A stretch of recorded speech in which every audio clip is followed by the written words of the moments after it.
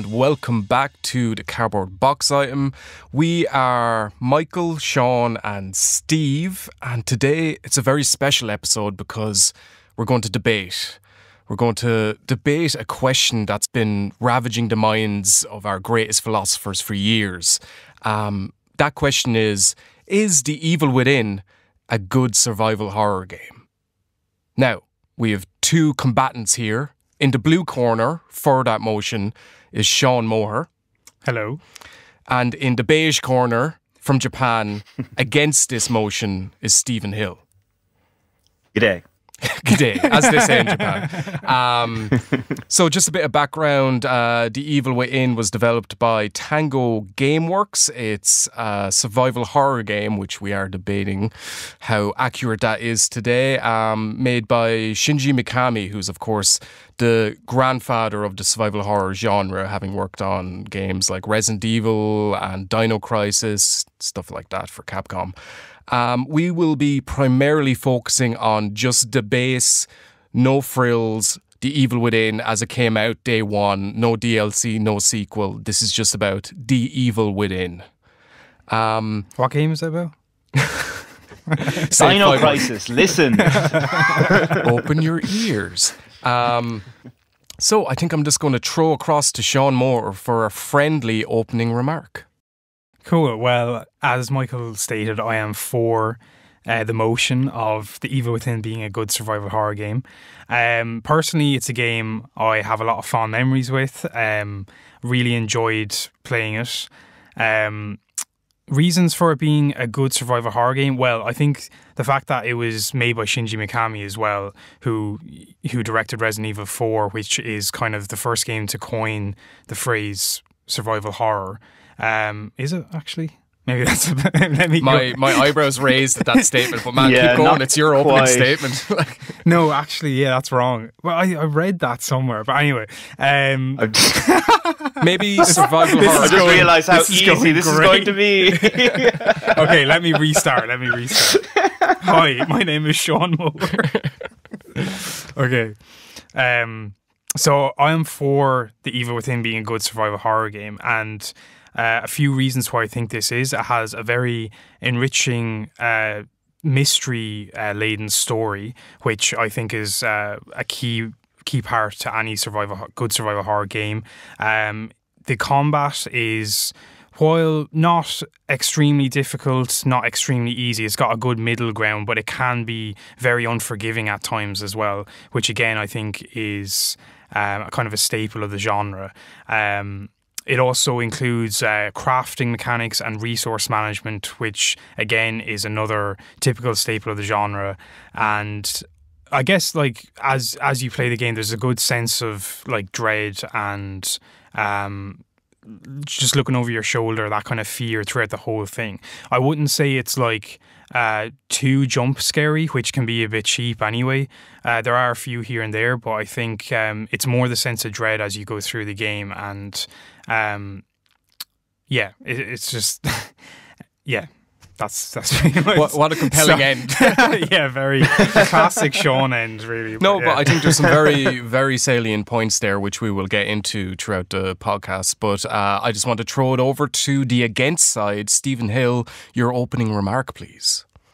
so, I am arguing that The Evil Within is not a good survival horror game, and I have a few reasons. The first reason that I have is that it sends very mixed messages out in what it wants to do. So it's presenting itself as like a psychological horror with like uh, you know things happening that may or may not be there. Uh, but in actual fact, the entire game is really just about ammo management and clearing out rooms of zombies for pretty much the entire game. And all the big set pieces, which kind of masquerade as horror, are really just action set pieces. Not very bad action set pieces, but they are actiony. I'd also say that, uh, Sean, you were saying that um, you're kind of looking over your shoulder a lot of the time, and it, uh, you know, brings a, a great sense of dread. I would argue that happens occasionally, but it's a complete tonal mess and has absolutely awful pacing, which makes the stakes in the game really unclear. On top of that, none of the characters, and I want to emphasize none of the characters, are memorable, likable, or relatable. And finally, the kind of main crux of the game is that the entire game takes place in this dream world of sorts uh, created by the antagonist. And we kind of learn this very early on when a bunch of completely impossible things happen. And that makes the entire world feel hollow, impossible to invest in.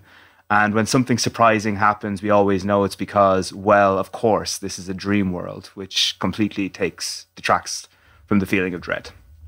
That would be my counter argument. Okay. Um, Shots, shots have been fired. yeah, already, they might have been fired. They didn't land, right? You sunk my battleship. Go on, go on. Okay, give me a response there, Sean. It says, "Oh well, it's the first game ever made." Blah, blah, No, blah." shut up. Fucking palm over here. no, well, just on your last point about like, I think the whole the fact that you're inside uh, somebody else's head for the whole game is like a brilliant um, setting for the story. Like you said that, oh, whenever something crazy happens, you know it's because you're in a dream world. Yeah, true, but that means like technically anything can happen as well. So you just don't know what the next thing is going to be, and like. I, I, I know I've mentioned this before, but like parts in the game where you think you're safe and then it throws you throws you like something out of left field and stuff as well. Um the, like yeah, anything can happen. You're in this dream world, like that. Just for me, anyway, that just drives me to find out what the hell is going on because you don't find out you're inside. I guess we can give spoilers. here. Yeah, no, spoilers for the entire Like, thing. Yeah, it's an old game. So. You don't you don't find out you're inside Ruvik's mind basically until like about halfway through the game. So like at least up until that point, like you know something weird is going on, but you don't know what. And then when you find out that, you're like, okay, this is even weirder than I thought. Like and because up until that point, you kind of think like you're making all this stuff up in your own like Sebastian's head or whatever. But then you find out you're in Ruvik's head, and then it just kind of you're like, how did I get here? How do I get out? Basically, Do you know. So for me, I thought that was I thought the story was brilliant. To be honest, I loved the story. And the char- and, um, and the characters like okay i will admit there's like a lot of the i, I think sebastian's a really good like uh, lead character and i thought sh- oh oh laugh it up steve and i thought like oh, sorry. I mean, no, I genuinely find that funny. No, but okay, go ahead. explain to me. Explain to me why Sebastian's a really good character. well I, well i would argue like what what what don't you like about him Okay, um, I'm just going to ask uh, Michael a question, if that's cool. Okay. Whoa. so, Michael, um, if I told you that the main character is a grizzled detective, what would you think of? Um, I I wouldn't think it's the most original idea Yeah. in the world. it's not but like but Sean, like you're- no, I don't care, man. Because like, yeah, it's it's that it's not original or anything, but that doesn't mean he's a bad lead character to play as. Yeah, he's like it's that stereotypical thing of um like horror games, like oh this detective washes into town, he doesn't know what's going on, but like, do you know, like I don't think that's a bad thing. Like it's just a trope Can, of the can genre. you can can I ask you? Can you just describe Sebastian's character in a word that isn't stoic? Can you give any any description of his character other than stoic? Um, fun. He's not fun. I'm sorry. I, fun? I know I meant to be impartial now, but he is not fun. All Right, right, fuck Sean Day, I suppose. Is it? Here, let me bend like, over and listen, fuck- listen, listen. Just um, for the benefit of the audience, right now, we, we're not doing this in such a way that like we're antagonizing each other. I know, like it might seem that It way, seems but way. this is just a discussion, and like I want to find like there are good points in the evil within. Like I am not going to deny that. I will say that the moment to moment gameplay, like the gunplay, is really good in the Evil Within. I don't mind saying that straight up. But we're here to like kind of probe at these points and kind of see like which which parts of the game outweighs the other. Like, does the bad parts outweigh the good, or the good parts outweigh the bad? I just have to say that Sebastian, like, I mean, the, the, like- the general public would be against you on this one, Sean. Like, there's been a lot of reviews here, and everybody criticizes his character. He's really, really boring. Like, the best you could say about him when you're saying he's fun is that you take it No, very tongue in cheek. that was a joke, me saying fun, but like, There's no jokes here, Sean. This is the deadly serious. Your life is on the line. I don't think he's like a really funny guy. Like I'd love to have a beer with him sometime. But uh, Mm. no, like I guess for me, like when if I'd have to like compare him to someone, I, I, I wouldn't say he's like any more different to like Leon in Resident Evil 4. Do you know what I mean? And like I enjoyed playing as Leon, you know? Like yeah, he doesn't have his character isn't really strong, but I don't really think in the for the terms of the game world and what you're doing, like I don't think you need to have that much development in his backstory and stuff. And, and there is a bit there. It's not like it's he's totally empty character or anything. Uh I would to a certain extent agree with you that you don't always need like a really strong character to keep a survival horror game moving. Mm. But when you consider the length of this game, you kind of do. Because this is a really long game as well. And it's and I know it's a long game because it felt long to me considering how long you go on like it goes on for would you agree with that like it does kind of go on a bit longer than it should at least? I, I think there there's definitely um, chapters in it that are padding. Yeah. Mm. Um, But I thought, like, I think the runtime of it is about 15 or 16 hours. Well, depending on, you know, if you get all the collectibles and stuff like that. Um, I think it, yeah, it depends. It depends, like, on, you know, uh, player to player. I think it took me, like, closer to 20. I think I was, like, 18, 19 hours, maybe even 20. I don't know. But I was really sick of it by the end. Like, and I think it might have been alleviated a little bit if Sebastian, super fun best friend Sebastian, had cracked a joke every now and then. but like, it, it drove me mad that like there was no humor in it, and the fact that he um reacts to everything like he just woke up and he's like, oh, whatever, man. You know, like he was drunk the entire time or hungover the entire time. Just to just to jump in, okay. Um, I think we've seen that there's obviously a divide on Sebastian, okay? Whereas Stephen feels he's a unoriginal character and doesn't bring anything new to the table, which I'd agree with. But Sean is maybe making the point that it's not really about Sebastian. Yes, exactly. Um, Fair. Okay, we'll, we'll we'll go with that for now. But now, like, I don't think that Sebastian being a strong character or not um, really relates to the game being a good survival horror game or not. Well, this dovetails nicely with the next point I wanted to bring up. What does make a game a good survival horror game? Now, you both mentioned the gameplay and the gunplay, and I think you both think it's good, but maybe for now, correct me if I'm wrong. For Sean, this adds to the tension and atmosphere of the game, but for Steve, it turned into more of a somewhat mindless shooter that was more about just making sure you could get the headshots rather than actually feeling tense. I, I will agree that um, there there are a lot of shooting sequences in the game, but I don't think I wouldn't agree with what you said, Steve. Where it's like every level is just like like kill kill all the zombies or whatever to get to the end. Do you know what I mean? Um, I think like there's a lot more to it. There's um, most levels do have puzzle solving in them, there is the resource management. Um, you know, when you do need to, like, it does promote stealth a lot of the time as well when taking out enemies. And, and plus, actually, for a lot of areas, you don't even need to kill or the the haunted they're called. You can just get you can get past them if you're like good enough. Um. So and, and to be honest, the shooting like I, I did enjoy the shooting mechanics in it, but like a lot of people would say it's kind of janky as well, and like the the perspective of the camera and stuff doesn't help. Which I think the perspective of the camera does help in making it more, um, like. Uh, kind of scary in a way, just because it's like a claustrophobic camera where you can't really see too far left and right. So, and then they did add letterboxing to the whole thing as well, which a lot of people hated, and I kind of would agree with that, even though I didn't mind it too much. But sorry, I'm getting completely yeah, off topic here. sorry, we're talking about shooting mechanics. Right? Let, let Steve respond. Sorry, Steve. um, just one very quick thing I'm going to say. Uh, I know they're called the haunted, uh, but I deliberately call them zombies. Very, very no, deliberately. That's, that's fine. Yeah. because um, enemy design is another thing that I'm going to get into. But okay. um, so you were saying that yeah i i'm not saying that like every single level is a shooting level. Yeah there's like a bunch of other stuff going on there. But the main problem that i have with it like isn't so much that like um it isn't so much that like you know it uh dovetails into like non-stop shooting. It's that it presents itself as something else.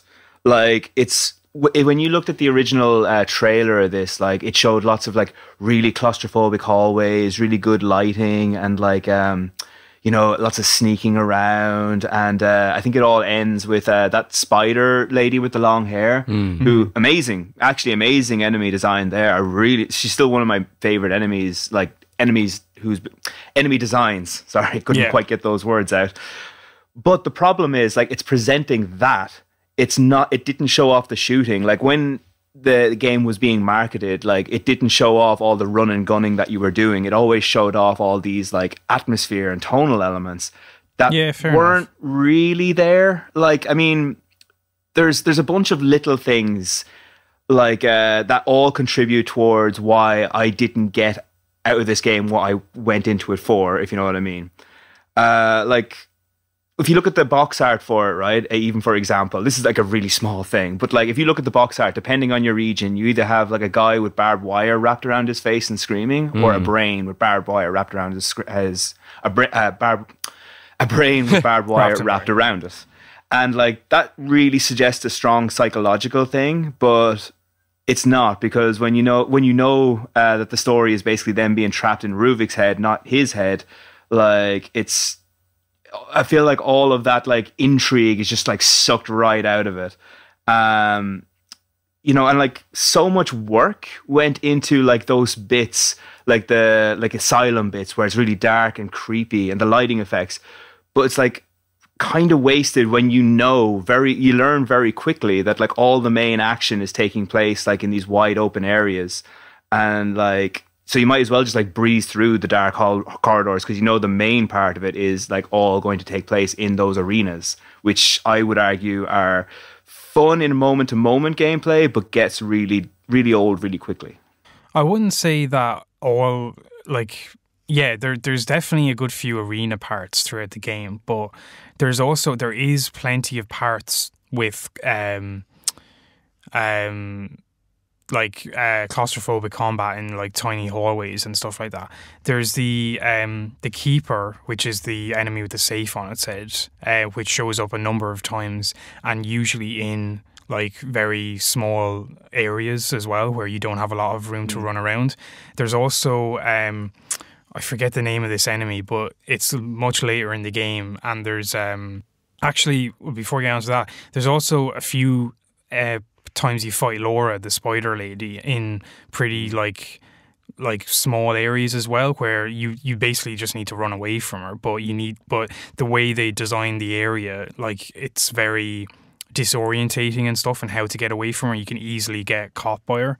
Um but those two enemies i was talking about i can't remember their names but they have like um they're basically their arms are bound to like a plank of wood, kind of going behind their head, and um, they they they do a lot of damage. They're very hard to kill, and basically you face two of these at the same time in a, a really tight room where it's like impossible to hide from them basically. So you're just like constantly uh, like some people would argue that yeah it's just like constantly run to the corner shoot them run to the other corner shoot them and it can get a bit repetitive.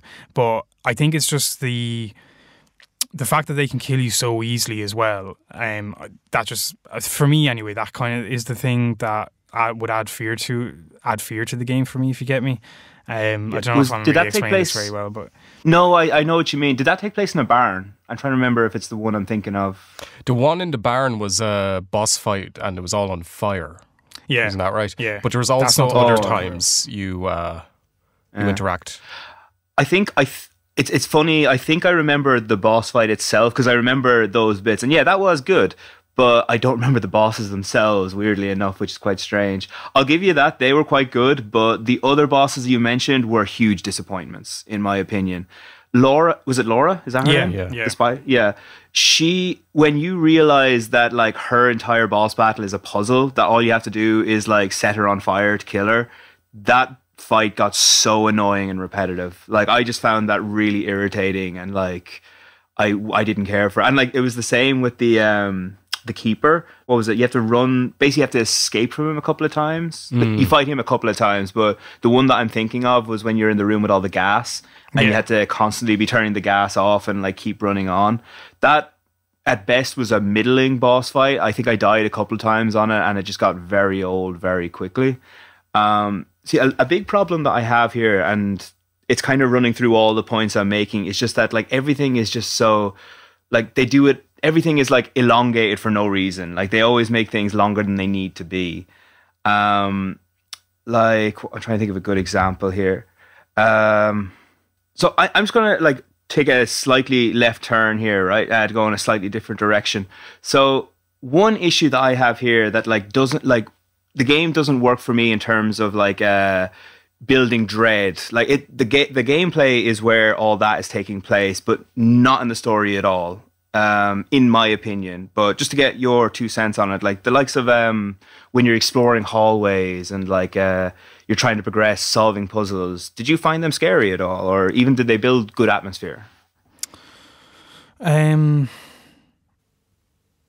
I think well, in in terms of exploring, I think like like I said before, there are there's there's plenty of times where yeah, because you're you find out you're in Ruvik's head, anything can happen at any time, kind of thing, and I think there was always I, I did kind of always feel dread moving through the game like besides the shooting sections because uh, in the arena sections yeah it was kind of obvious like yeah, you just need to get to the end of this arena by either killing everyone or sneaking past them or something.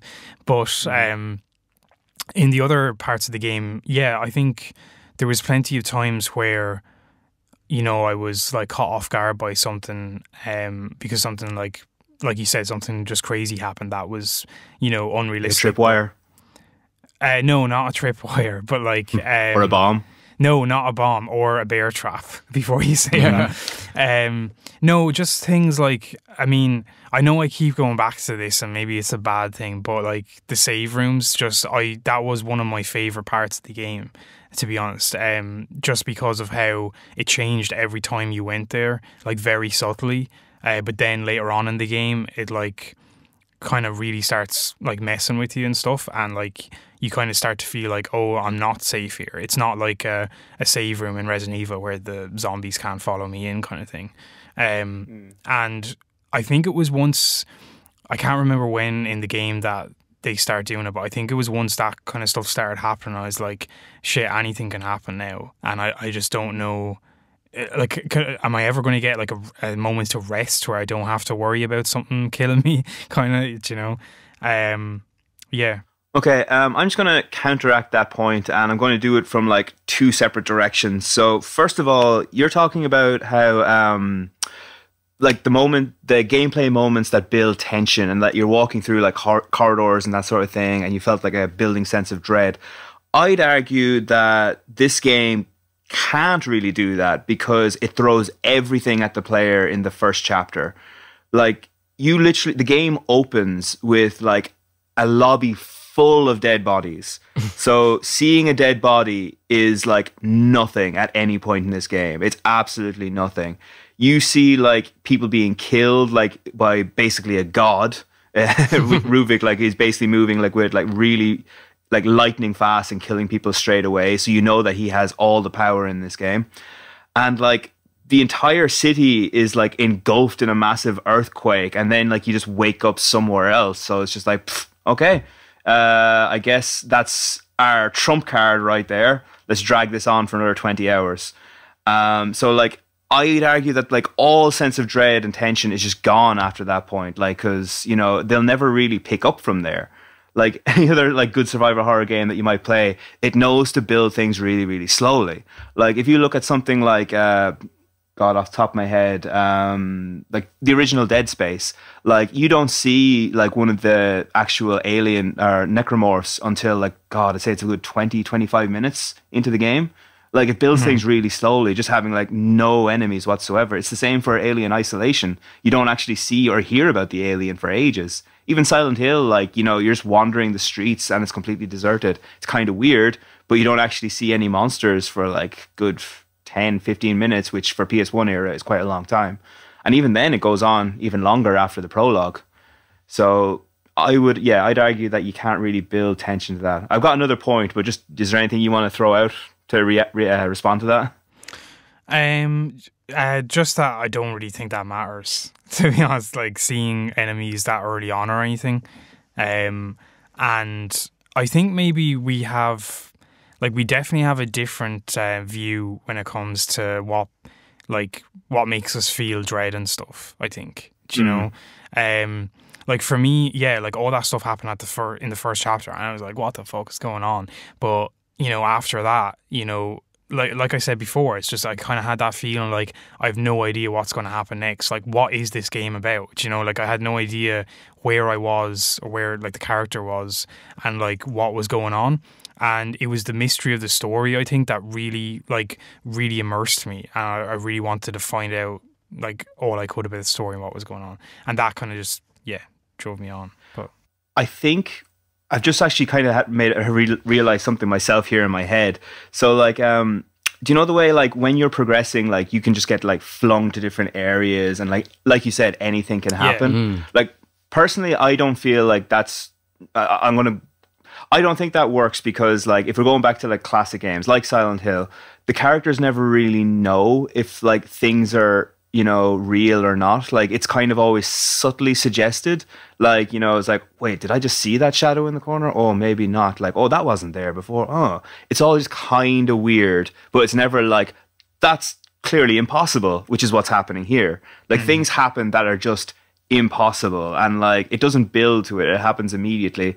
And i realized just now the reason that i think that annoys me is because so like ruvik is the guy controlling like pretty much all of this right? Mm. he's like you know this antagonist. And i realized ruvik is just the game designer. He's literally just saying you know what would be really scary now? This. Let's throw this in here because it's scary. Yeah that's a good point i, I think you hit on something very true about it. And I agree with you. I'm not. I'm not saying it doesn't make it a good survival horror game, but there's definitely a sense to the evil within that it's wearing its video gameness on its sleeve. Yeah. Like you go, mm. like uh, the thing that comes to mind is you go into that arena with the spinning blade mm. and you have to crouch down. And I think that's a really cool environment, to be honest. It's a really yeah. novel spin and it makes you think about combat in a different way. Whether that, those sort of you know, deliberate traps and very gamey aspects make it a good survival horror game or not are debatable, which is why yeah. we're here. Mm. Yeah. But like the thing is like in the real world you'd have to wonder like why would you have giant spinning blades like on a pole rotating anywhere like even in an abattoir like that's just like really impractical. like. yeah. Wait, John died again in the spinning room like yeah. clean him up, call his wife. Well, I think I think like yeah, the game makes it obvious pretty much from the outset that um you know once you wake up in the uh, the asylum or whatever mm. that uh this isn't real, kind of, you know? Um, and like, I don't think that's a bad thing either. Like, I know what you were saying, Steve, about like, in, like you're comparing this to games where you don't know what's real and what's fake. You know, in this you kind of mm. know what's real, but then like, or sorry, in this game you know that it's all you know made up. But then I guess there's also this the question of like, oh, if I die here, do I die in real life, kind of thing. You know, for more mm. related to like the side characters and stuff later on in the game. Um, mm. But yeah, it kind of like I agree. It does wear that on its sleeve. That's like none of this is real. Yeah, but but well, you do you do know I think that you can feel pain like and stuff like that. Yeah, like that yeah, kind yeah, of yeah. stuff is all feels real to you or to Sebastian anyway. Yeah, I think it's it's because like um like in a game like for example in Resident Evil like you don't really know what's going to come around the corner because like it's in the se- it's kind of like uh, takes place in the video game version of the real world. So it kind of has to follow those rules to a certain mm. extent. Yeah. But this game doesn't. So like you're saying like oh that means anything can happen. But in my head i'm like saying the exact same thing but rolling my eyes like well that means anything can happen. Like so it's kind of like well yeah so like it's it's, it's a game it's not though, scary. Steve, like I know, but like in like you can't have that in like say Resident Evil. Like you can't have like oh well the city just like you know uh inceptioned itself onto each other like for no reason. Like there has to be like a reasoning behind that. If it does happen, and then you're like oh but why? It's like oh cool. Well, but like in this game, it's like oh something insane happened. Why? Because it's a dream. Okay, moving on. Well, yeah, okay. I guess you're coming at it from an angle of like you need a reason for things to happen. And I can see your point, but for me, uh, like, um, and I, there's probably other games like this, I don't know, but for me, I thought it was kind of like so, like you could some people will call it like a cop out, I guess, and say like, oh well, this just kind of allowed the designers to do whatever they wanted. Uh, but I think I think it was just something kind of really interesting and something I hadn't really played in a way before. You know, like uh, I wouldn't say mm. it was totally original because I'm sure other games have done like Dream, you know, it's all a dream or whatever, kind of a similar thing. But um, yeah, I, I thought it was cool. Basically, I, I really liked that aspect of it. I, well, that's fair enough. Um, sorry, Michael, you going to say something? No, uh, just uh, this brings up an interesting point, and it's sort of the crux of what we're talking about in a way. So here's a little thought experiment for you, right? If there was a theoretical game that had the combat mechanics of the evil within, as in, you know, very powerful enemies, uh, scarce resources, um, you know, a combat system that doesn't mean you can just do headshots all the time. You know, it takes a bit of, it, there's a bit of tension there when it comes to whether you live or die. If you had that, but no story whatsoever, no context for where you are, you're just dropped into a level, kill these enemies, and you're going to have to hide and make sure your bullets count and run from more powerful enemies. Would that be good survival horror? No.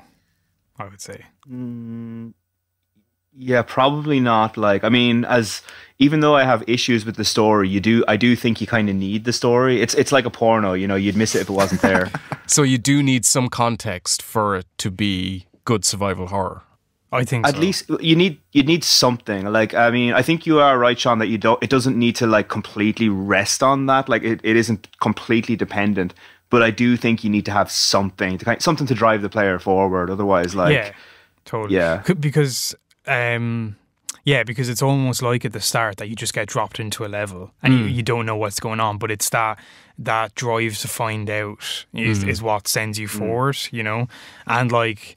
I would say the combat isn't strong enough by itself. Um, you know in this game like it's it's good at times but yeah like there's those room arena rooms which can just get a bit annoying with like enemies spawning and stuff so those don't add to tension they just become okay i need to kill all these guys i just need to get past this part of the game rather the only than... the only tension that gets added with them i think is if you die you're going to go way back or something mm. you know mm. with checkpoints and stuff but um but that's yeah, that's kind of a weird tension in that like yeah. I mean yeah, it is tension, but like it's annoying as well. So like it's, stress. it's not. it's like yeah, I need to. it's it's a tricky this. one.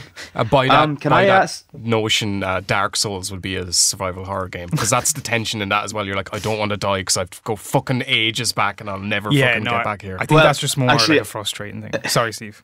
I feel that's a little different though, and this is something that I'm going to just put a pin in. I'm going to mention it now, but I'd like to put in a pin in it now because I have a different point I want to make. I think like in this game, it's a lot more annoying and unfair than it is in the Dark Soul games. This is largely due to the fucking explosive traps that are everywhere in this yeah, game. Yeah. Hmm. I absolutely hate them in this game, but that's just something I'm going to come to later. I want to ask you a question there, Sean. So yeah. this relates to like the idea of the world being again all in Ruvik's head, anything can happen, etc., etc. The fact that you get like thrown to different settings again and again, I think really really hurts the story in this. Like not necessarily because it's a mess. I I think it is, but I'll let it slide for now. Like I don't think that's like the worst thing about it. The fact that you have no idea how what kind of progress you're making throughout this game because like it's just like feels like you're gonna throw like you're just gonna be thrown somewhere else, somewhere else, somewhere else.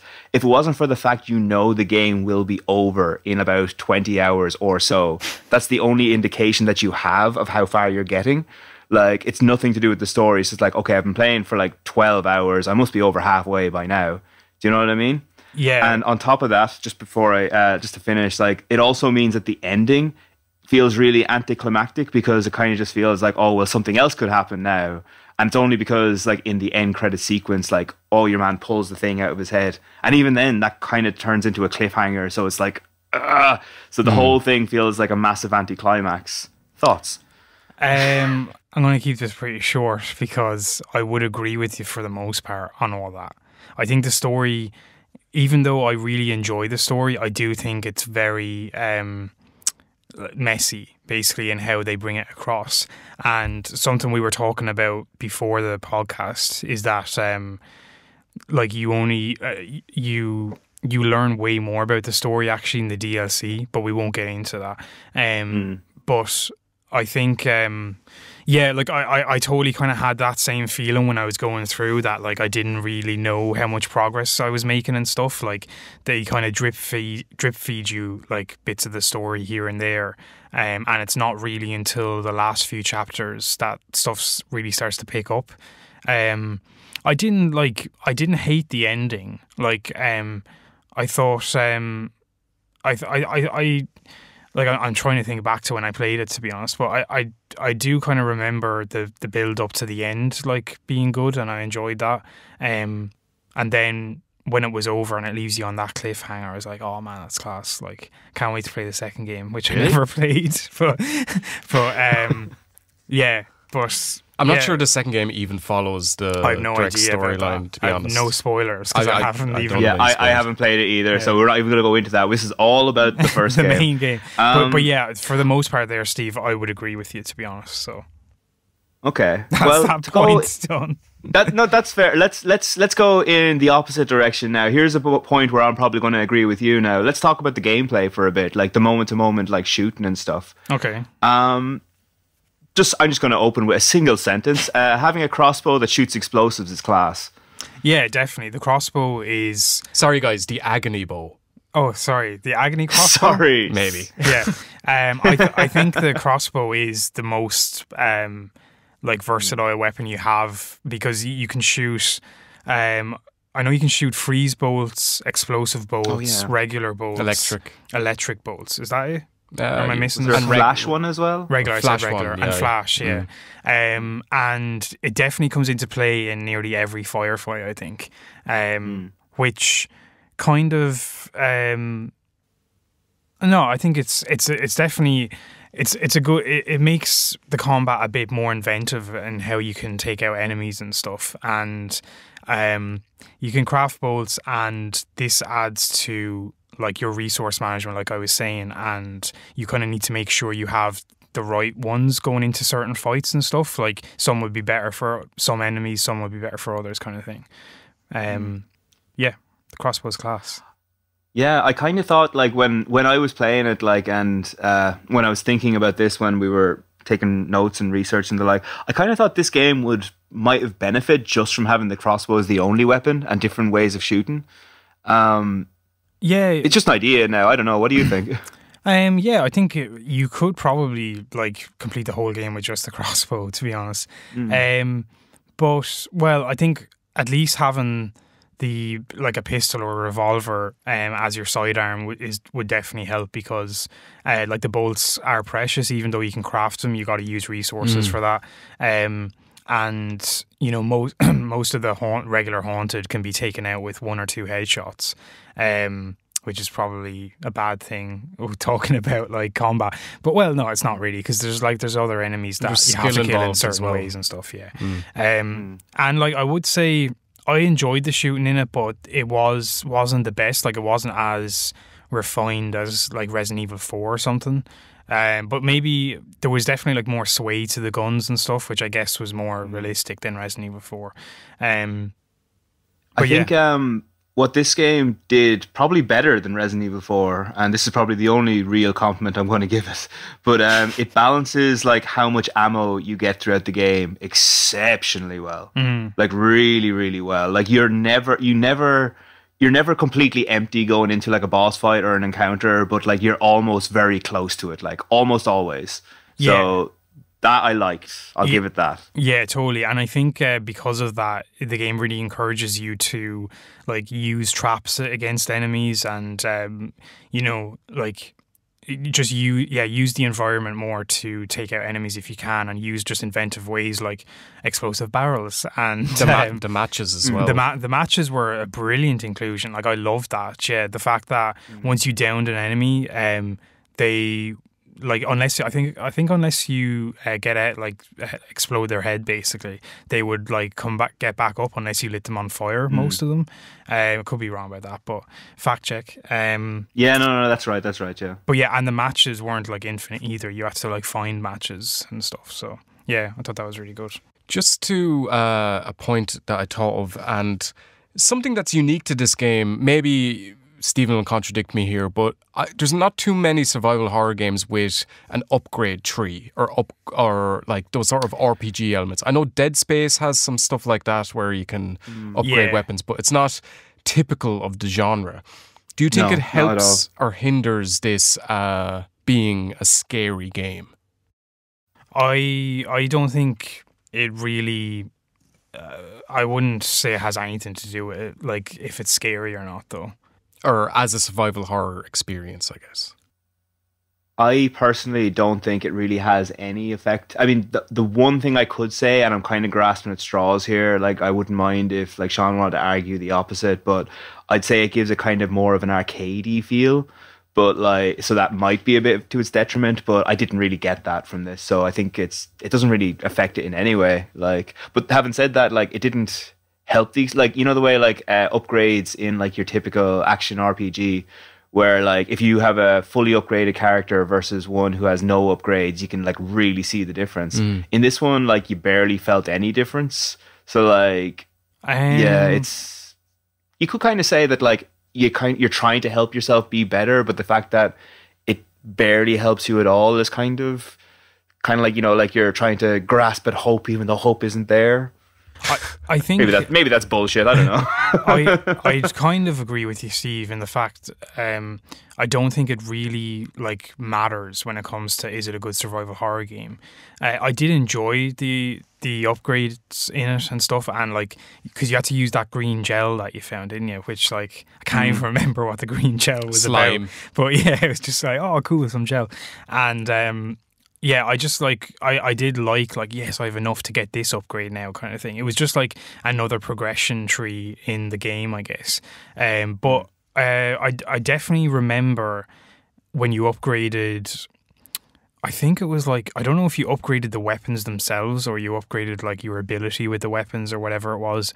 yeah it's Um, all in the one under the one umbrella yeah, something like that. But I definitely remember like when I upgraded like that for like my revolver was way better because at the start the revolver is like weak as shit, but once you upgrade that a bit, it's like much more powerful.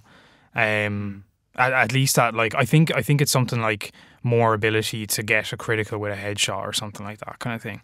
Um, but yeah, I, I but yeah, to be honest, when it comes down to the game as a whole, I think you could take it or leave it. You know, I think if it wasn't in the game, it wouldn't really uh, detract from it um, much, really. Yeah, Uh, but but it doesn't really add a lot either. Being there, it's just kind of another progression tree to have. yeah Oh no, actually, sorry, Um, sorry. One, I could be wrong about this, but do you remember in the safe room, uh, there's a room behind the like clerk's desk with a load of lockers, and did you use green gel to open them, or did you have to find keys? Keys. You found keys. did you? Yeah. Okay, never mind. So But you could get green gel. you could get them, green yeah. gel in them, yeah. yeah. But the green gel was only for upgrades, so yeah Yes. okay. Okay, so now I'm going to go on the offensive here, talking about uh, gameplay. Things I didn't like. a memoir by Stephen Hill. uh, the post office. Uh, no, first, um, stealth mechanics in this game I felt weren't really worth a damn. Um, here's here, here's my problem with it. Right, so in a good survival horror game, utilizing stealth, I think, only really works if the person like you're hiding from can basically kill you in one hit. Like if like you should feel like if you're found, you're fucked.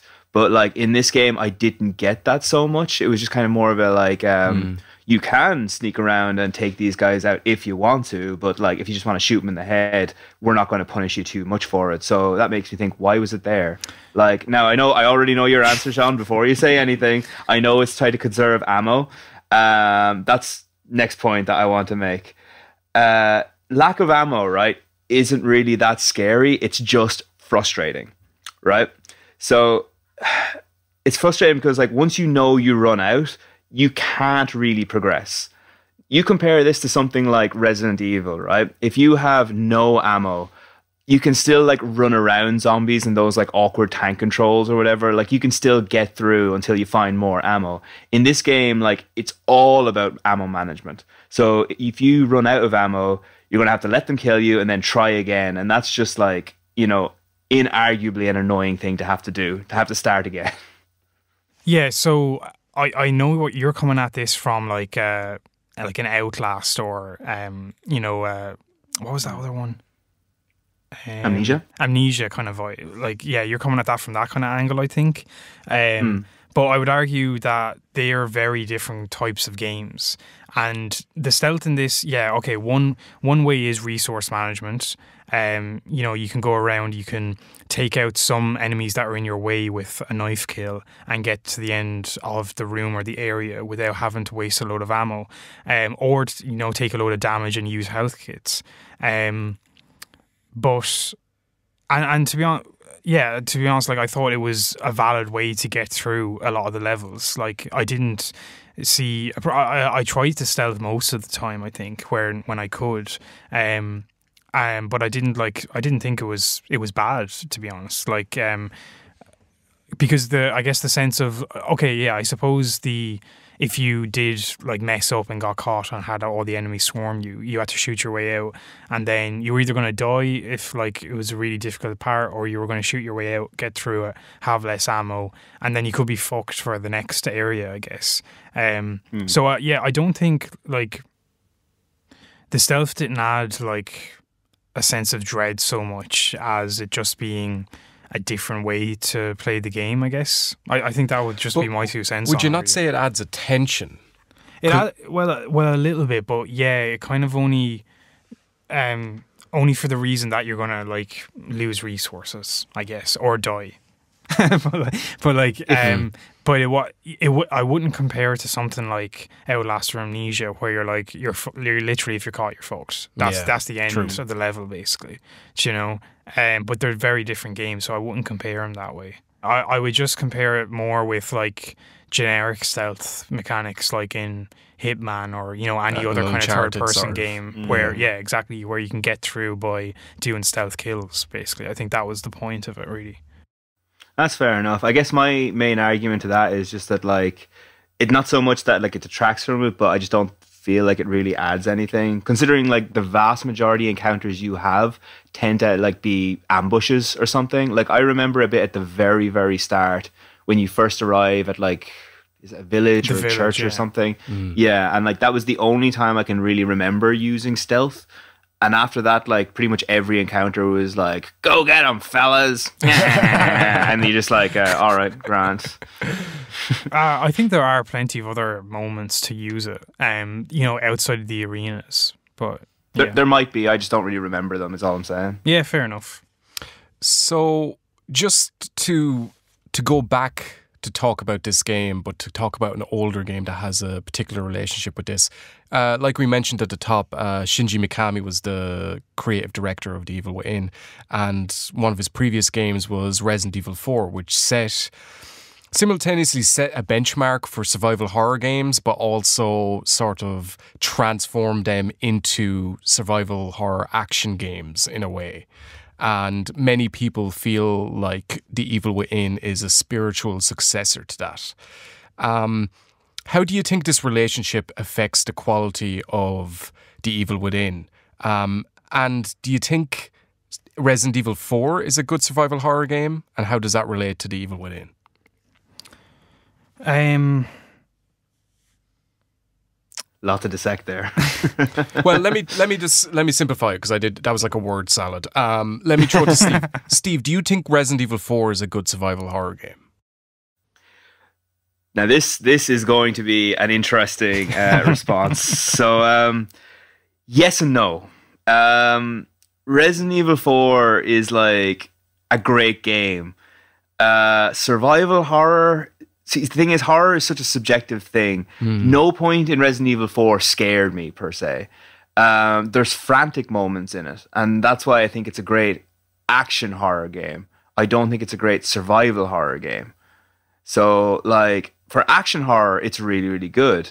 And I if it wasn't for the story, I'd probably say the same for The Evil Within. I'd probably say this is a really good action game as well. But survival horror game, no, I don't think Resident Evil 4 is a good survival horror game. Hmm. I um, I'm probably gonna like just destroy this whole debate now, but I I would say that both games straddle the line between survival horror and action. I would say um like something like something like Resident Evil 6 is completely just like you know, it's is it even action horror? It's more like you know just a Hollywood movie kind of thing. But that's definitely on the extreme spectrum. I think. Don't you of, like, land a plane or kill the Oh, man, president it's or, just- or something it's in that game? It's crazy. Seconds into it, I think. Yeah. but like that's on the that's on like the far right of the scale when it comes to like action horror, if that makes any sense. Um, It's at the action side of it. yeah, it's on the action side. But I think I feel like Resident Evil 4 and The Evil Within, yeah, they kind of straddle the line between the two because um, I would say from like a gameplay perspective, there's a lot of shooting in both of them, which I think um, isn't something that is like um, isn't something that is Typical. strange. Well, it's not strange to have in a survival horror, but it is more associated, I guess, with action horror. Um, as far as like big set pieces and stuff go, I would say The Evil Within probably has more than Resident Evil Four. Um, but again, not to the degree of like Uncharted or Resident Evil Six or you know anything like that. Um, so yeah, I think so. Sorry to compare. Um, what what was the question? To compare it to Resident Evil Four, or how does it stand against Resident Evil Four? But just in relation, because it's seen as a spiritual successor. So do you Yeah. believe you you? So I think the crux of your argument is they do lean more towards action, but they do still have those horror elements that bring them back and make them survival horror. I think survival horror is definitely the root in both games, but um, but they're leaning a little bit towards action, definitely. Um, when it comes to like those areas where you know you need to the arenas, you need to kill every uh, haunted or zombie to get past them. Um, where you know like just sneaking past isn't an option kind of thing. I think that's really more leaning towards the action kind of stuff. Um, but yeah, I, w- I would still call both of them survival horror games, but they're straddling a line basically. And and just in relation to Resident Evil Four, like personally, um, The Evil Within is like probably like the best game I've played since Resident Evil 4 in that genre. Like I, I actually really liked Resident Evil 5 too, but there's no doubt that's more of an action horror game.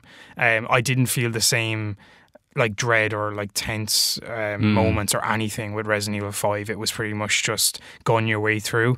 Um, but I definitely, when playing The Evil Within, I felt like just like I was playing Resident Evil 4 again. You know, so to me, there's a huge close connection there, and a lot of that's down to Shinji Mikami, I suppose. Can I actually just quick query? Do you think um, Evil Within or Dead Space, Dead Space Two, for example, is a scarier game? Just out of curiosity. Um, scary. You see, I think when you're talking about like, is the game scary? That's very subjective, and also, Mm. um, there can be different ways of it being. Like, I don't think a game needs to be like scary per se to be a horror game. You know, and maybe I'm wrong there. I don't know, but the only thing in Dead Space Two that really scared me was a few jump scares. If I'm honest. Um, the evil within i felt i felt more dread i think and stuff um in the evil within than i did dead space because dead space um i feel it got into a rhythm after a while where like you knew like like well i guess the same can be argued for the evil within in some cases but you kind of knew when things were going to pop off in dead space and like you were going to have to kill a load of enemies or something i guess the same can be said about the arenas in the evil within but um, I think it was. Um, I felt Evil Within was more unpredictable when it came to how it was gonna, how the story was gonna progress. Um, so I felt more dread with that, I'd say. But like scary wise, I wouldn't even, I wouldn't say the Evil Within is very scary, to be honest. Like I think um, the scariest encounters I had in it were probably with Laura, just because of her like shrieking scream Her and stuff design is and insane. her design. And like I knew when I heard that scream, I was like, "Fuck, it's Laura again," you know. Here she is. and like um, I'm pretty sure, maybe I'm wrong, but was she a one hit kill if she hit you? I think so. Yeah, so there maybe. was it was I think something like that. I know later in the game where um Ruvik is chasing you and he can summon Yeah. Laura's hands to come out of the ground and they're a one hit kill if they get you. So so it was just like yeah, it was just the the sense of like I'm screwed kind of thing, you know. But um and that was something that I did I didn't ever get with Dead Space. I, it was more about like just I think Dead Space is definitely more of an action horror game than The Evil Within. But that's another That's story, maybe. That's another question. That's funny, actually, because like um, I I kind of feel the opposite there because Really? like um, yeah, there's probably like more action in Dead Space, but like it's like you were saying that you don't think a horror game doesn't need to be scary, and like I I would actually agree with that. I don't think a horror game does need to be scary, but what it does need to do, I think, is establish a really a really good tone, a, a good horrific tone, and uh, that's why I really Yeah. liked um, Dead Space because I thought it did that exceptionally well. Uh, this game, like it's it it also establishes a tone. Now it's tonally messy as hell, in my opinion, but like it does manage to establish that tone just about but it's the fact that it's always wobbling that threw me off like because like you know the arena bits are just like so it's it's a really bright game as well. Do you know that's something that actually kind of i noticed as well. Like there's lots of bit mm. in it like where you're just like in arenas and like it's lit normally mm. compared to like something like, like you never have to use oh you do use a torch actually at some points don't you? But When you're out in the city and all, uh, it is Yeah. quite bright. Hey, you, that can be scary sometimes. There are bright horror games, but they're it's definitely not quite as No, yeah, I would agree with you there, Steve. Yeah. Yeah. Actually, yeah, that's another thing. When you're in the city, there's a bit like where you're in a gun turret, cur- turret as well. Like, and that's that's something that immediately like lowers lowers my uh, how much I like a game. Wasn't there a gun turret in Silent Hill 2? I'm pretty sure every level ended with a gun Ah, turret. that famous uh, sim- symbolism uh, gun turret. Yeah, it's the like- gun turret was his penis all along. Yeah. Um, just to, to kind of just like uh, to emphasize this now, like I do think you are right in a point that you made. It's a really good point that a horror game doesn't actually need to be scary. And there's a couple of like exceptionally good horror games that I didn't really find scary at all. Like just off the top of my head, like Resident Evil 4 is obviously a good one, but also um, Silent Hill Shattered Memories and uh, Eternal Darkness, Sanity's Requiem. All, all three of those games, like I wouldn't really say there's anything in those that really made me scared at all, but they're really, really good games. Yeah. And again, this is all something that's really subjective. Everybody's going to have a different opinion on this, how they react to a horror game. Some people will find like some games absolutely terrifying, and other people will say they're like whatever. But if you have the tone and like if it feels oppressive, like and it kind of gets under your skin, even if it doesn't scare you, but it kind of gets to you, I think that's kind of what establishes a good horror game, in my opinion. yeah, so more psychologically horror, like Hmm. scary or whatever. Yeah. Yeah, yeah. Yeah. Um, just to circle back, uh, Steve, what uh, have you any more thoughts on its relationship with Resident Evil 4? Yeah, so like I think that it it sort of does hurt this game a little bit. Like um one thing you have to bear in mind, right? This is like around the start of the PS4, like when big changes should have been happening in genre game. It it never does. Like whenever you get the start of a new generation, it always kind of carries over some of the previous generation's tropes and it kind of wallows a little bit. So that's kind of what I feel was happening here. Um like on the PS3, the only really good survival horror games, in my opinion, were like the Dead Space games and maybe the Fear games, maybe. Um, so like the genre was kind of getting like a little bit stale.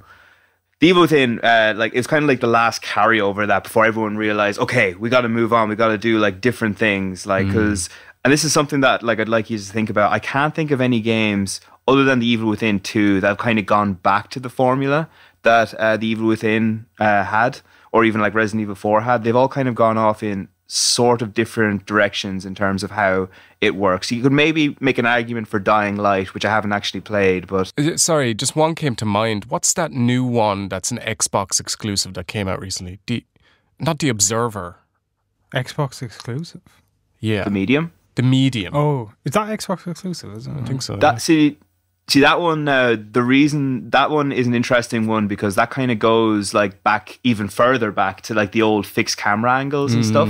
Like you're you don't have any guns in that game as far as I know. yeah, I think and, it's like, it's all non-combat. about- yeah. Oh, cool. Yeah, it's all about running from enemies.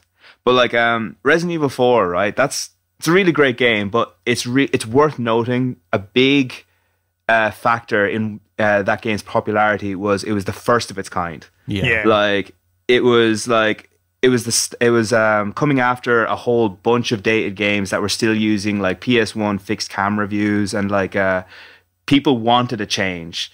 So that kind of contributed to how well it's received. And The Evil Within is kind of on the opposite end of the same spectrum. Like in some ways, it plays it really safe, and it's just kind of like uh, not a clone of Resident Evil 4, but it does borrow an awful lot from it. And that might be part of why I didn't really like that game as much. Like, because um, if you if you switched this spectrum around, right, and The Evil Within came out in 2004, and it was uh, Resident Evil 4 that came out in uh, 2014. But for one thing, that would really mess with the Resident Evil timeline. but more than anything, like I'd probably really, really like uh, The Evil Within then. But maybe it's just because I'm just kind of sick of this style, kind of.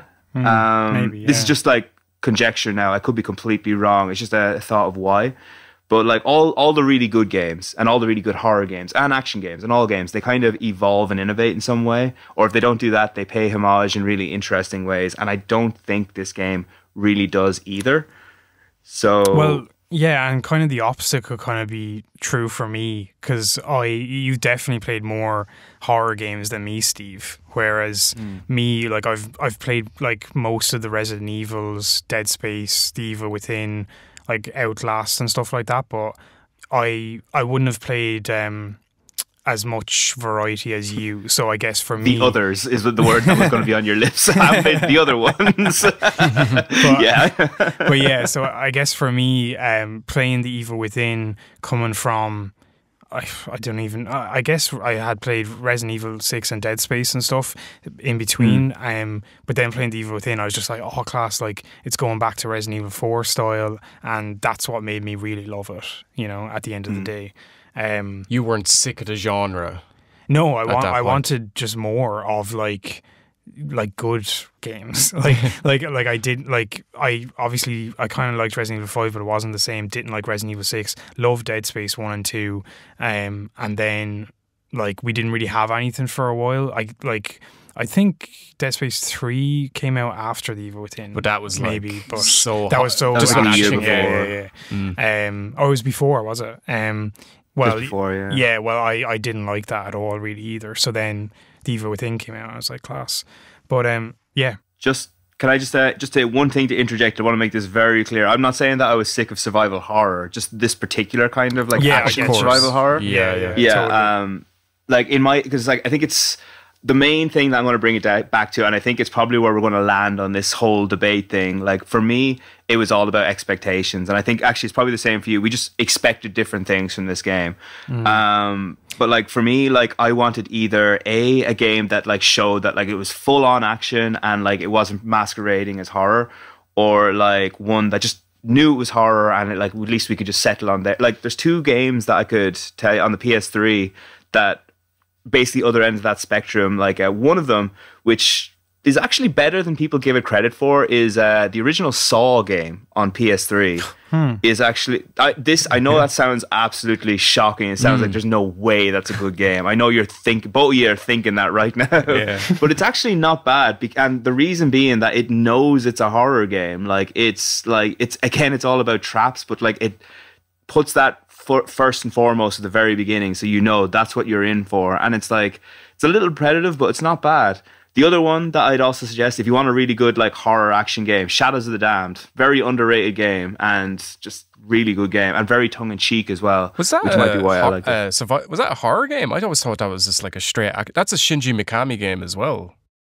Yeah, well, like I mean, it depends. This this is when you, you have to get down to like definitions. Like I mean, you have your main character; he's fighting through hell to get his girlfriend back. So like, you know, and you're fighting zombies and stuff. So That's sort Yeah. of like Devil May Cry. Well, here we- Dante's we're, Inferno. We're, we're splitting. we're splitting hairs here as well, I guess. Um, But like, I don't see like how that would be a, a wouldn't be a horror game, and this and like the Evil Within would be like. Um, true. Um, I do remember the only thing I remember from Shadow of the Damned is the guy's gun gets really long and then he puts it like in front of his crotch and is basically like, "This is my dick gun." No, no, no. He says, "Taste my big boner." well, I think that's They get- probably a direct quote from the game, is it? the the gun is called the boner because it's made from the skull of like the first demon he killed or something like that. I'm sure there's symbolism there, but I'm just not really grasping what the symbolism is. Um, Uh, I think it was Freud who said sometimes a boner is just a boner. indeed. Wait, so are you saying that's a good game, Steve? Shadows of the Damned. Yeah. Yeah, it again, it's all down to managing expectations on this because like that's a very very short game, and I think a lot of people really hated on it because of that. But Right. yeah, I th- I thought that was really good. Cool. And it's I'll also check it like it's it's um it's action horror. It's very very pure action horror. Like it's not going in like trying to scare you per se. Hmm. You're just going in and you're fighting hordes of enemies. It, it reminded me a lot of um, Resident Evil Four. So Okay. yeah. Cool. Um, okay, well, we've had quite a heated debate. Um, guys, have you got any closing statements that you'd like to leave us with? Uh, well, I think um, we both kind of compromised in our arguments. Um, well, in certain certain places in our arguments and stuff, and I kind of think that it's very subjective what each person would, you know, define as a survival horror game, possibly. Um, and what is especially what is scary uh, for for horror games. Um, but yeah, I think personally anyway i've come away kind of agreeing with a lot of what steve has said i still love the game still one of my like favorite survival horror games but um, i can see his points as well I hate you so much, Sean. no, no, no. What, you are actually nice is it right. yeah, exactly. It's so much easier when we just be dicks to each other. uh, yeah, no, I think you are right. Uh, a very big part of like uh, this game is just like what managing your expectations and what you actually want from a good survival horror game. And as you said, like sometimes like you can be going into it and you're very dependent on being on the edge of your seat, like, you know, shooting things and just trying to stay alive. And that can be like exceptionally important. And for others, like, you know, the um the story and the characters could be like a really big driving force here and you can't quite forgive the lack of that uh, when and like you can't overlook better features and uh, good features in the game you know that don't quite compensate for it in your opinion. So yeah i think uh, what we really needed to do was have like a 10 second uh, podcast that just said agree to disagree and that's all we needed to do. No, we could have just left it at that. I think it was But good no it is yeah. yeah, yeah. So I'm glad that we had that there, and like we can now kind it's of on the table put our now yeah, we can put our finger on the points where like we were like, oh yeah, well this was good, this was bad. Do you know what? I never even mentioned the Roombas in that game that have like Oh, blades on them, hell. the dumbest enemies that in the was entire so game. annoying i agree well, we can hey, we can agree on that. The Roombas with blades on them were stupid. That's They I think, were that, I think that was so only in one chapter or like one area of a chapter as well that It was really in. close to the end, yeah. Like it was only towards like the very end of the game that they popped up, but they were still the worst so thing annoying. in the game. Yeah. I was actually just going to say earlier, agree with one of your points um, about. I, I, I think the marketing of the game wasn't done very well because, like you said, Mm. like you mentioned near the beginning, that um, they kind of portrayed it as something it wasn't really. So yeah, I Mm. would agree with you there. Okay, having heard both those passionate, compelling, and very eloquent arguments, um, just just to give you my two cents, I haven't played the game. I've watched a complete playthrough of it uh, like a while back, and um, I'm I'm going to be a fence sitter here. Unfortunately, like I don't I, like uh, mainly because I haven't played the game, but also because I I do think there's elements of what you both of what you say is right. Um, like watching playthroughs of like those beginning areas with the barn and like these really like oppressive sort of areas uh, like such tension and atmosphere in them like uh, you do get that sense of dread that you mentioned Sean like always looking over your shoulder and ammo is scarce you have these terrifying enemies like I know Steve wasn't crazy about the design of a lot of them but some of them I thought were genuinely compelling um you do have that in abundance. But also, I feel like Uncharted DNA is after getting into this game. It's so weird because Shinji Mikami, when he was initially talking about the beginning of the development of this game, he said he felt like horror games had got too action focused and he wanted to bring back the horror elements. And you can definitely hmm. see an attempt at that. Like, it's almost horror that's made so ludicrous and over the top and horror filled that it stops being scary. Like, I'm thinking that bit at the beginning where the guy called the sadist is chasing you, then he locks you in a room and a million blades come out of either side of the room. then you barely yeah. escape them and you go down like uh, a slope filled with blood and viscera and land in a pool of like blood and excrement and all this horrible stuff. And I was like, you have to laugh at it almost. It's so over yeah. the top yeah. and intense. But like, that's its own thing. Like you, you both mentioned, horror games don't necessarily have to be scary. There's a sort of twisted um, grossness to lots of parts of the game that I think is a bit underrated. Um, mm. But some of those set pieces are really over the top and way too like the third section we are talking about, and a lot of that stuff does deflate those stakes to a certain mm. degree. So um, I have to I have to fall just, in the middle, unfortunately it's funny what you say about like how you have to laugh at some of it. Like I honestly feel if the game was a little bit tongue in cheek, I would be I'd be a lot kinder to it. Mm. Like it would just be like if if you've been going around, if Sebastian, super fun Sebastian, had been walking around and going like, oh, like a Frankenstein's monster, how original, but obviously better writing. You know, I thought that would have been really good. How but, can you write um, a better line than that? It's so. um, Cool. Well, that's our debate. Our motion has been passed. I don't know how the debate ends. Um, but yeah, agree to disagree. We all agree to agree disagree. to disagree. But I guess if anyone listening, I guess it would be nice to hear anyone who agrees with me, mm. anyone who agrees with Sean, just don't even bother. That'd be great. I really, I really want to play it again now. Actually, if anyone agrees with Sean, can you roll your opinion up in a little ball and just shove it up your arse? Um, so yeah, no, I have no comeback to that. do no, do let us know, guys. Um, in we'll be putting this on YouTube. Let us know in the comments where you fall on this debate, uh, what you think of it, and the survival horror genre in general. Can we do uh, a poll on no. Okay, cool. We can't we do a poll. I tried guys. to do one. Sorry, but they removed no the poll function on YouTube. Sake, really? Okay. Um, fun fact for you. Um, so if if we're done talking about this bloody evil within, let's talk about what we're playing at the moment. Sean, what are you playing? Well, I am playing a game that I've wanted to say for a long time. The evil, no, um, uh, Red Dead Redemption Two, a game that Ooh. like um, I've wanted to play since it came out, but didn't have the means. So I start. I finally started to play it. Mm. And um, how when did it come out? Two years ago.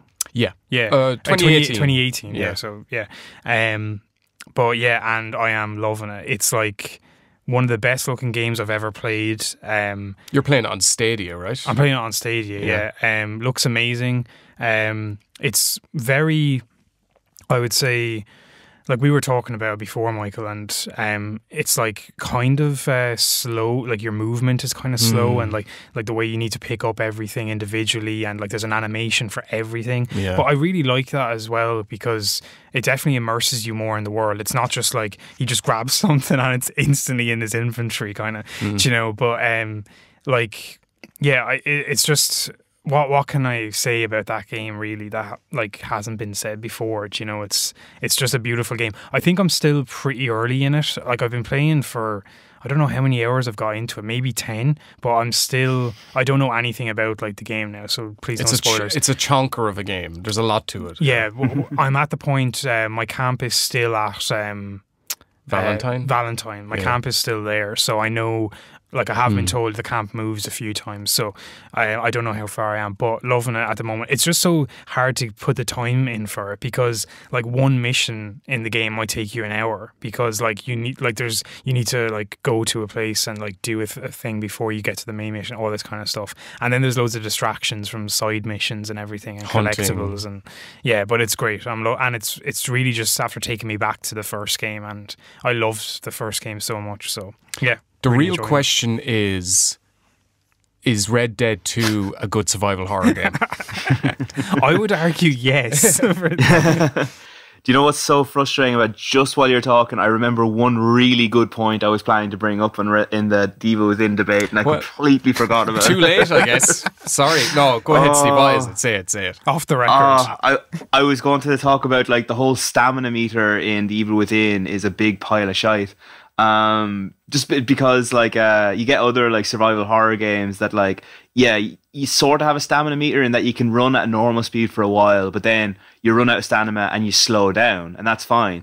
But in the Evil Within, you do this stupid thing where once you run out of stamina, you like stop and do a bit of a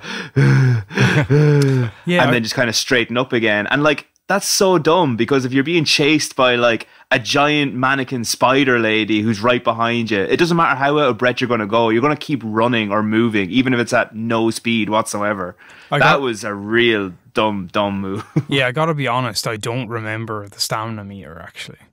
Maybe But- you're just really good at managing your stamina. Maybe. Wink, wink. Um, but, Maybe. but would that not add to the tension, Steve? That you're like, oh my god, I, I can't move. I'm frozen. No, see, this is the thing. It's another one of those like you know, uh, it's it's annoying more than like mm. scary because like you know, it's the game kind of arbitrarily telling you it's like you can't run anymore. Like it's fine that like yeah, if you can't, if you're run out of stamina, you slow down because then it's like oh god, he's gonna get me, he's gonna get me. But instead, it's like you know, because like in other games, like the monsters generally be faster than you when you're out of stamina. But in this game, it's like, okay, you're out of stamina, stop for a second, regain your stamina. Oh, no, too late, you're dead. Yeah. It's just, it's a very small thing, but that change I think was re- a really bad decision in this game. Jeez, you can't stop this guy talking about the evil within. Every day it is. with I love it so much. I want it to be my girlfriend. Steve, uh, Steve, what game are you playing at the moment? Ah, so I realized a little flaw in this thing that we've been doing that like if you ask us like what we're playing, we're always going to say the really long games because like you'll finish like a short game in like a day and then you'll move on to a long one. So with that in mind, I deliberately saved two short games like for last night so that I could say I talked about it if that's cool. So Um, you um, cheated at our question, basically. Go ahead. there's research and then there's research. There's I researched that research. Um, so one of the games I'm playing is by our good friend Terry Cavanagh. It's uh, VVV VVV Five V's, isn't it? six V's. Six V's. V V V V V. Yeah. Yeah, cool. Yeah, I know it's six V's because well, I didn't know this before going in. That title is actually really clever for a couple of reasons. So, like, the whole thing of the game is you're like an astronaut and you're trying to save your five crew men- members, and every crew member's name begins with V. So it's like VVV VVV. Uh, really good game, actually. Like, uh, do you guys have you heard of it or anything? You- like, you fl- you flip to opposite walls, and there's. I guess the other thing you were going to say is that like the V's represent the spikes that are on the walls.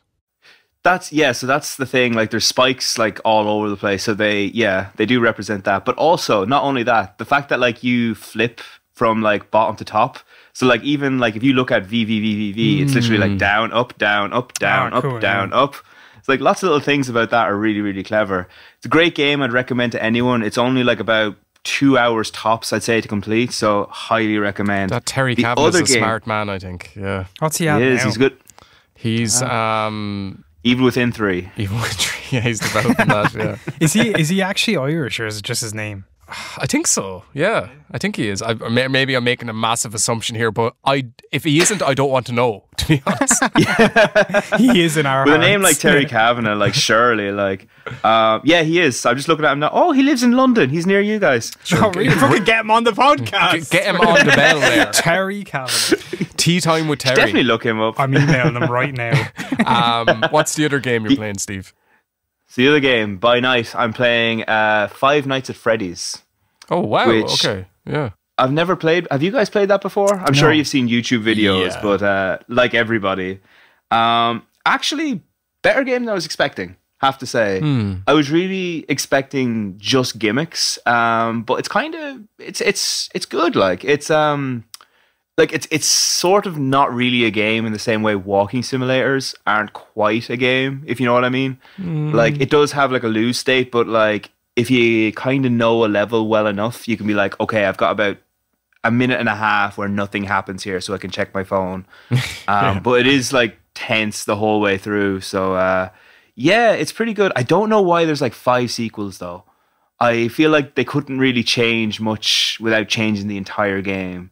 Um, So- I'd say money was the main uh, motivator Yeah. for all those sequels. They, they did They seem to have- be reskins, basically. Yeah.